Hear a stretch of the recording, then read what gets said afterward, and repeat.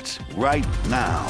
Providing hope and healing in the wake of tragedy. The efforts to expand help for those affected by the shooting in Sutherland Springs.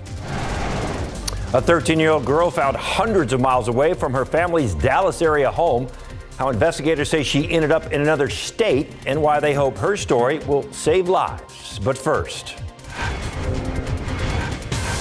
Spring break is in full swing. Vacationers are flocking to popular spots, but crowds bring some concerns. Start passing the ball around, and all the germs start getting into your hands. What should be a fun time for families can turn into a trip to the doctor. Strep throat, rashes, upper respiratory Viruses are just some of the most common illnesses you could come across this spring break. A pediatrician tells the night team's Patty Santos what you can do to avoid ending up with a sick kid. It's the first day of spring break and parks are crowded. Happy kids potentially carrying germs and viruses. Oh, germs? Um, you can actually get sick for them. Ethan Salazar knows all about it. He's seven. Carry the germs usually on their hand. He says he's going to try to avoid them by washing his hands. Yes, so. But pediatrician Kimberly Statniak expects some families won't be so lucky. Doctor visits tend to follow spring break. Towards the end of the week, we'll see more of the, the kids coming through, especially with school starting. They just want to make sure they're okay. She says upper respiratory infections are trending in kids already. The kids, we're seeing more like uh, rhinovirus, enterovirus, adenovirus, human metapneumovirus, and they all sound so scary, but they're truly just your common cold viruses. Parents always have that instinct that tells them when sick kids need to see a doctor. Dr. Stachniak says most of the time hydration, over the counter meds, and a steamy bath might bring some ease to mild cases. Also going around skin infections, stomach bugs, and strep throat. We've been seeing that a lot lately. Um, usually, that can present with fever, headache, sore throat, sometimes stomach pain, nausea, vomiting. Some of those viruses might need a doctor's prescription. She says many of those viruses are spread through touching surfaces, so it might not be a bad idea to bring back the wipes, the hand sanitizer, maybe even the mask if you're visiting a really busy spot. Patty Santos, KSAT 12 News. And spring break here in San Antonio also means big crowds. Just last month, we told you about the record number of tourists expected in the Alamo City, and local businesses prepared for the spike in visitors as we move further away from the pandemic. The owner of Rita's on the river says he's enjoying seeing everyone out for spring break after the restaurant had to close for 26 months during the pandemic. Other restaurants we talked to also expressed optimism that things are getting back to normal. And seeing as March means money for San Antonio tourism, that's a big relief for them. And while there are a lot of people coming to San Antonio, there are plenty of people still heading out of town for spring break. According to Fly San Antonio, parking over the airport is filling up, but there are still some spots available. And David, what a nice day for people to enjoy our city. A high temperature of 70 degrees, a little cooler than average by about three degrees. And when you consider that this past weekend we were in the 90s, this is a welcome change for folks.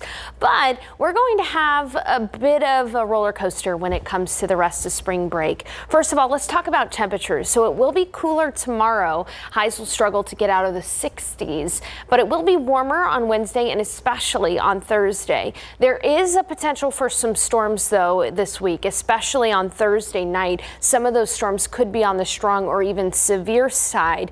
And then beyond that, this weekend, we are going to be much colder potentially temperatures as cold as in the 40s and uh, low 50s. It may even be damp at times. So coming up in the forecast, we've got a lot to unpack. I'll even be addressing some social media rumors. You'll want to stick around for that in just a bit. David. Thank you, Sarah. And you are looking live from Sky 12. You're looking down on St. Mary's Street, just north of downtown. That's where construction projects continue. And that means you can expect some detours if you're driving in that area. Right now, alternating lanes on North St. Mary's will be closed from East Mistletoe to East Woodlawn Avenue. That closure will be through this Saturday, March 18th. We've got the full construction and closure schedule posted on our website. Just go over to ksat.com. New developments in the deadly dog attack in a West Side neighborhood. The widow of the 81 year old man who was killed now suing for negligence. The lawsuit states she is seeking $1 million. Ramon Najera died on February 24th in the attack on Deplet Street. Court records show Juanita Najera is suing the dog's owners, Christian Moreno and Abilene Schneider, as well as the homeowner, Carlos Moreno. The suit claims each person failed to stop the dogs during the attack, failed to keep the dogs inside the home along with preventing them from escaping the home, and failed to have them leashed or tethered. Visitation services will be held for Ramon this Wednesday, followed by the funeral on Thursday. After two days and more than 14 hours of deliberating, a jury was deadlocked and a mistrial was declared today in the murder trial of Luis Alvarado. Alvarado was charged in September of 2021 in the shooting death of his neighbor, Santos Cedillo. Prosecutors said Alvarado got into an argument with Cedillo outside the apartment complex they lived at. The defense argued Alvarado feared for his life and wanted to be left alone. The district attorney's office could retry the case, but no word yet if that will happen. More than five years after the tragedy in Sutherland Springs, the center set up to support the mental health needs of the community is expanding. The director tells the night team's Leigh Waldman that they're eliminating barriers when it comes to bringing care. The kiddos can play um, there's specialized toys that you'll see in um, the counseling offices that are there for play therapy. Walking into a home with hope and love. The Center for Healing and Hope of South Texas offers a variety of counseling services. EMDR, which is a specialized processing um, that takes specialized training and specialized tools through technology to allow someone to process the trauma that they've been through.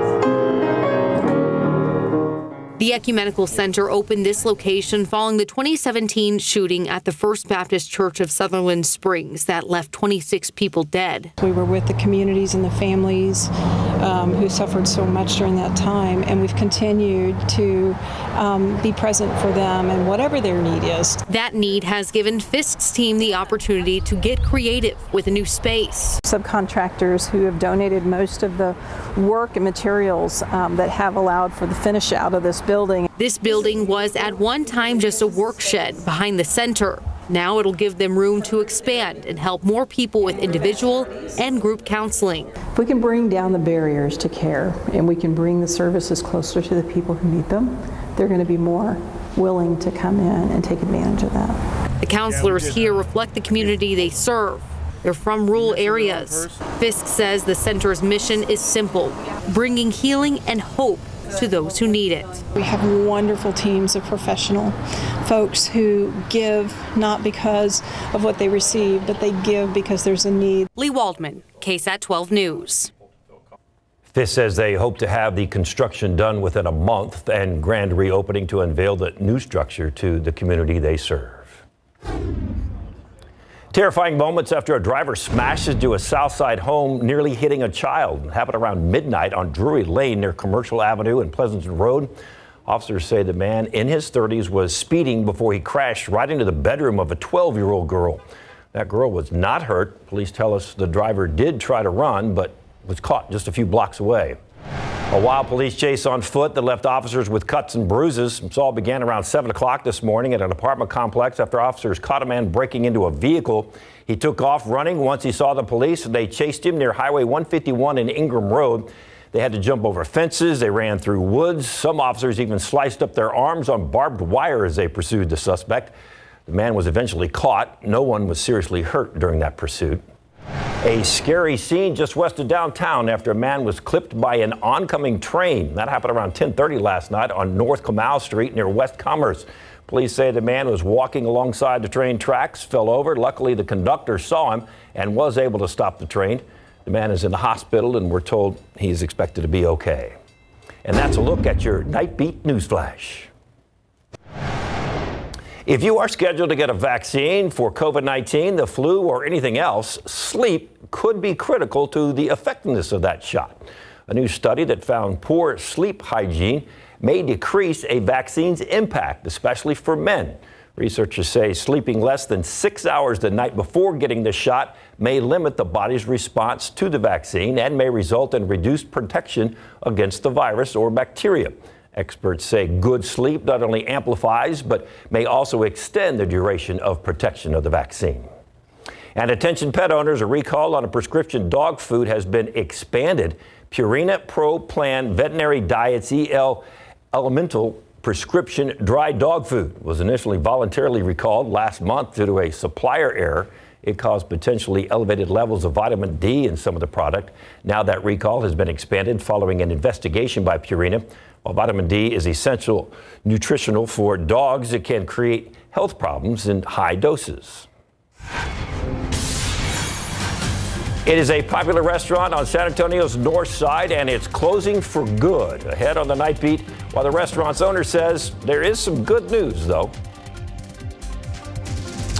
And a missing 13 year old found alive a thousand miles away from home. The story investigators want every parent to hear.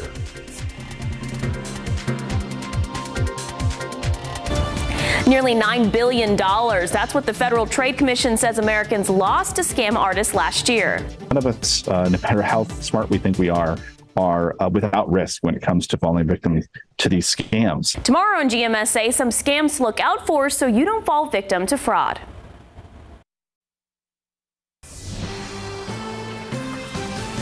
As parents, they've got to wise up and see that the dangers to these kids, it just continues to go on. A sheriff's warning to parents after deputies found a missing Texas girl alive in North Carolina. The 13 year old was found in a locked shed on Friday. Investigators say the shed is on the property that belonged to the 34 year old suspect. He is accused of meeting the girl on social media and luring her to his car. The man now faces several charges, including child abduction, human trafficking, and rape. Tonight, the girl is back home with her family in the Dallas area. Back here at home, a popular local restaurant is closing the doors at one of its locations in order to focus on the other. Rosario's owner, Lisa Wong, says the restaurant on San Pedro Avenue is closed for good. That announcement comes after Rosario's Southtown restaurant relocated on South St. Mary's in February. Wong said operating under one location makes the most sense. She says current Northside location employees will be given the opportunity to relocate to the new Southtown location. It is one of the biggest parties in Texas and is going on right now. We're talking about South by Southwest, and one of the highlight events is the Creative Industries Expo. Last year, nearly 25,000 people visited the expo at South by Southwest, and this year, conference organizers are braced for an even bigger crowd. The expo's goal is to take attendees into the 22nd century and beyond. Hundreds of exhibitors from around the world meet at the convention center to collaborate and share their discoveries. For all things South by Southwest, you can head over to ksat.com and don't forget to check out our live streams from the events on our KSAT YouTube page. Outside with live cam, little breeze, American flag blowing. Skycam's got a really nice yeah. view there. And look at that temperature, 61 degrees, getting a little chilly tonight. It is. It's and you know what, David? Temperatures all over the map this spring break. And even though spring officially starts next Monday.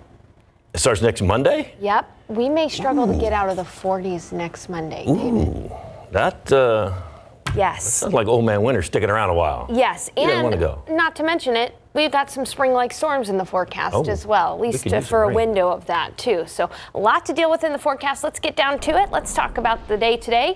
We got up to 70 degrees for the high. It was a beautiful day, three degrees shy of the average. It was stayed in the 60s up in the hill country uh, and even down in Pleasanton 69 degrees. Now this is impressive, uh, cooler weather too, because we were at 92 on Saturday. We were in the 80s yesterday, so a little bit of a cool down, and we're going to continue with that trend tomorrow. As we look at the weather setup, there are a few isolated showers out in Lavaca County right now. Uh, some sprinkles have been reported around San Antonio, but really, honestly, the big story tomorrow is that we're going to have a little bit more cloud cover and it's going to be a bit cooler. There is a big nor'easter setting up across areas in the uh, northeast. This is going to continue to cause some travel issues the next day or so, so keep that in mind if you have friends or family or you yourself may be traveling across the nation for spring break. Meanwhile, that's going to be pulling in a little bit of cooler air tomorrow. So tomorrow will be cool. We'll only be in the mid 60s, so some five degrees cooler than today. Then by Wednesday and Thursday, we see a warm up. Wednesday will be near 70. It'll be humid on Thursday with highs in the 80s. And then a big system change for us comes strolling through on Thursday night in the form of a very strong cold front. This is a snapshot at overnight Thursday into Friday. There's about a 40% chance of coverage of some storms. So scattered storms as that front moves through. It's that time of year where we can see some severe storms. Right now, the severe threat is really north of Austin toward Temple, Waco, Dallas, Tyler, Bryan, College Station, Lufkin, and Texarkana. But even here in San Antonio, we're going to be on alert for a couple of strong storms overnight Thursday into Friday. The main threat there would be some smaller hail. We'll keep an eye on that for you. But then behind that front, the second part of the story is that it's going to be much, much colder Saturday through the weekend and into next week. 40s with a high near 50, and there is even a chance for a little bit of precipitation too at that time. Cold rain likely uh, at times, uh, so keep that in mind. There's been some rumors around social media that uh, with some of that dampness, there could be a snowflake or two mixed in. It is far too early to tell you that for sure. What we do know though is that it's going to be much colder Sunday and Monday. Take a look at that highs only in the 50s after a day on Thursday where we'll be in the 80s. So a huge drop in temperatures for us winter's last grasp as we officially head into spring. But for tomorrow, you know, it'll be cold in the morning, 49, at least cold according to our standards here in south central Texas. And then in the morning, we'll spend most of the time in the 50s, around noon, 59 degrees, increasing clouds tomorrow too. So that by the afternoon, it's going to be mostly cloudy. There's a 10% chance for a stray sprinkle or two like what we saw today, 64 for the high. So again, bring that jacket with you tomorrow as you're heading out the doors. 43 in Bandera, 43 in Boerne, 43 in Bulverde, 50 at Stinson. You'll want to shed off that uh, jacket layer and perhaps just a light sweater tomorrow, but it'll be really nice in the afternoon. 64 degrees in San Antonio, 68 at Stinson, 66 in Hondo. Again, a jam-packed forecast for you. That KSAT Weather Authority app is going to be handy. We're updating the forecast as all of those details come into a 2020 view. I did just want to put on your horizon, though, uh, that again, storms are our first concern Thursday night to Friday, and then the cold, damp weather Sunday and Monday of this next week and end of the week weekend. So not really a perfect spring break forecast for folks, but there's definitely a little bit of everything, isn't there? Got to warn those bluebonnets. Cold air's coming. Hey. Get ready. This is your warning from your weather authority, bluebonnets. There you go. Free agency started today. It's some big names that we recognize on the move already. Yeah, Marcus Davenport, according to reports, is going to leave the New Orleans Saints, the team that drafted him. He's going to stay in the NFC, but reportedly he's moving to a new team. And in the NBA, Zach Collins is starting at center for the Spurs, and he's absolutely digging it coming up.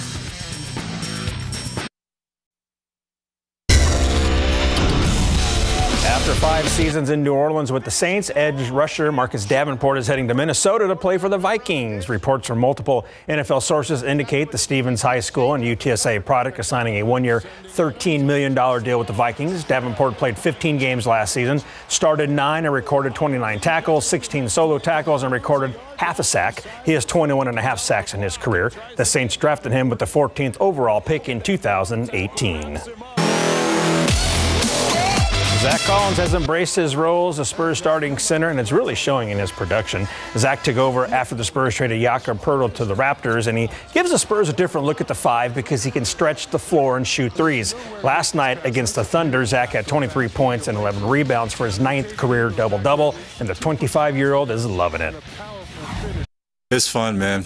It's fun. It's fun to be in a starting role, playing all those minutes, you know if, if human beings couldn't get tired, man, I, would love to play the whole game, you know. So, uh, no, it's just fun, man. You know, I, I, wish we were winning more games this season, but it's definitely a fun experience. It's good for, you know, me going forward in my career just to have that opportunity and to have that responsibility every night to be ready to go from the jump. Um, so it, it's been fun. Spurs will host the Orlando Magic tomorrow night at 7. Jeremy and Keldon are questionable. Tre Jones, Malaki Branham, and Romeo Langford are all out. Turning to college hoops, March Madness is here, and for the second straight season, the Islanders of Texas A&M Corpus Christi made the field thanks to winning the Southland Conference Championship. Wagner High School grade and Islanders senior guard Jalen Jackson was asked what did it take to get back this season. We have a lot of returners from last year, so like we knew what it take, took to win. We knew what it took to uh, get back to the tournament. Um, so just having that continuity and then being able to put it all together and make a run in March. That's how we, that's how we got it done. We won conference, and then we won the conference championship, so we could get the bid. So now we got to go win a game or two in March Madness tournament. Head coach Steve Lutz and his 16th seeded Islanders will face number 16 Southeast Missouri State tomorrow at 5:40 p.m. in the South Region First Four, and the Islanders are favored by four. Winners are four straight games, including the Big 12 championship. The Texas Longhorns have some momentum ahead of the big dance. The Horns cheered at their watch party upon learning their seed and opponent yesterday. And Texas is the two seed in the Midwest region and will face number 15 Colgate in the first round Thursday night at 6:25.